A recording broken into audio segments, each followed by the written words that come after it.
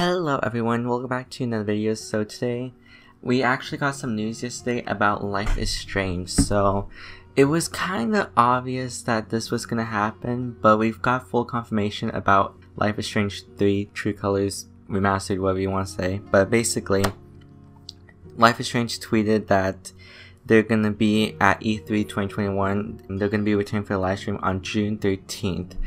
So if we look at the calendar, June 13th is actually on. Wait, is this? Oh my gosh, it's Sunday. I did not realize it was Sunday, but yeah, it'll be on Sunday. So that means that they're gonna be showing Life Strange True Colors, and they're showing as well some other um, stuff such as Marvel's Avengers, most likely the Spider-Man update, and they're gonna be showing Babylon's Fall. I'm not sure what that is exactly, but that's what they're gonna be showing.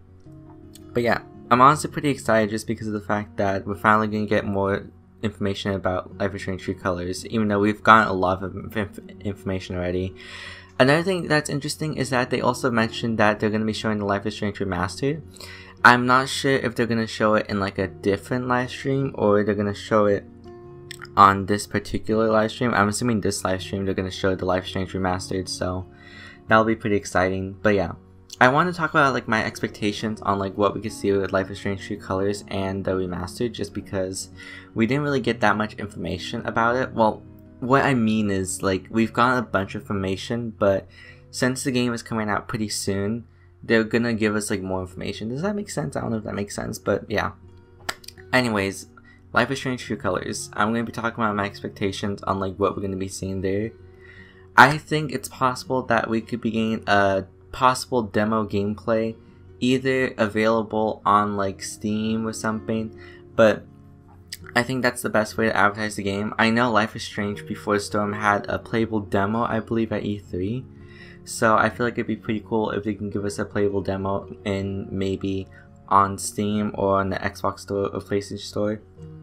That's a little bit far fetched, so I'm not sure if that's going to be happening but I would love to see a playable demo, in my opinion, just to be playable, you know, for us to play because usually they usually have ugh, I can't talk. Usually they have the playable demos at E3, but since obviously E3 is canceled in person, it's only going to be online. It'd be pretty cool to have the playable demos be on the Steam. You can have Deck Nine Games be like, and now we're gonna announce that there will be a 15 minute demo of Life is Strange True Colors that you could play. You can play the first 15 minutes of the game on Steam, PS5, whatever, in Xbox Store. I think that would be amazing in my opinion. I hope they do that, but there is a risk of them doing that because I know when Telltale Games did this with The Walking Dead the final season, the files of the game got leaked, so there was spoilers inside the game files, so that's kind of like the risk that they do if they were to make a demo, but I'm sure they're smart enough to know that, hey, make sure to take out certain files so that way people can't figure out what the heck the game's about or like direction choices, whatever.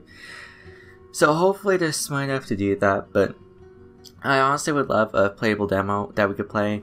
They're definitely gonna show a demo either way. Like they're gonna definitely show new gameplay of like a segment in episode one. I think that's definitely gonna happen they're most likely gonna show like a choice scenario and like to show the powers more of like how Alex's emotions work. I think that's definitely like more gameplay that they're gonna show. Obviously, we already got the release date for that, so I don't think they're gonna announce. Uh, uh, uh, what am I saying? but yeah, it feels so weird that they announced everything all at once in the beginning, like when it got announced. Like, I feel like they could have announced the release date at E3, but they decided to announce it like way back in like April. Was it April? I think it was April of March. That was like they're crazy. like they announced everything in the beginning, which is fine, but like it's so crazy how Life is Strange Colors is coming out soon. But yeah. That's pretty much all I could think of for Life is Strange True Colors in my opinion. New gameplay and then maybe a demo that they'll announce and then maybe they'll talk about a little bit about Steph's DLC episode. That's really all I can think about that could that they can talk about, in my opinion. But yeah, for Life is Strange Remastered, I'm pretty excited about this one. I'm not gonna lie, I I'm I'm pretty hyped for True Colors, but Remastered, I think everyone's a little bit more hyped for. It.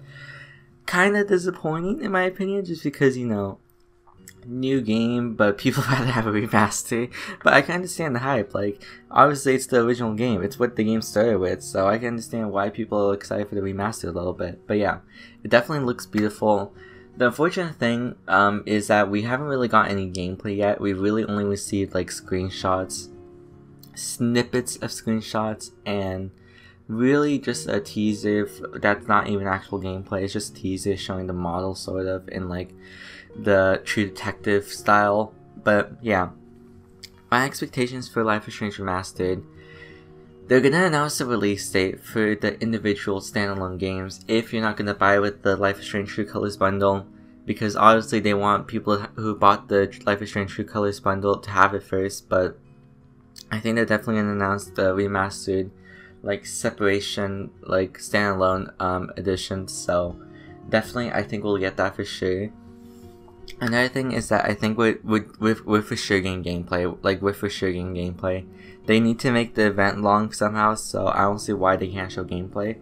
But yeah, with the gameplay, it's pretty interesting because they could, since Life is Strange already came out, they can literally do whatever the heck they want. They could show like I think they're just gonna focus on Life is Strange one, in my opinion.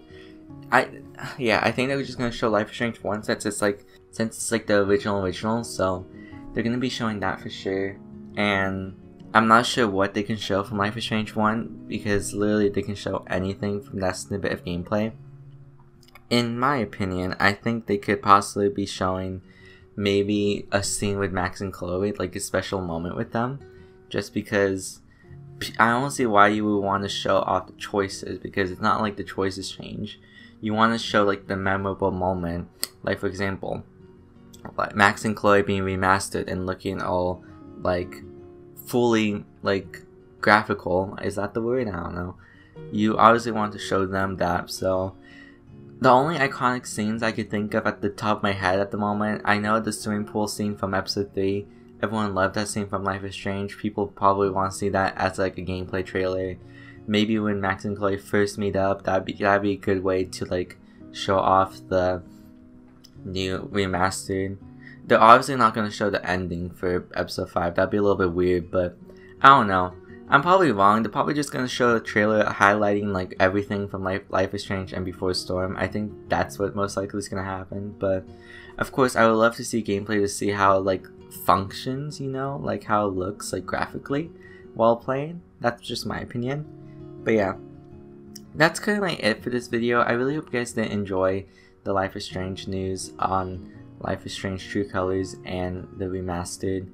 I really want to know you guys' opinion on like what you guys think we'll be seeing at E3. I'll definitely be reacting to this.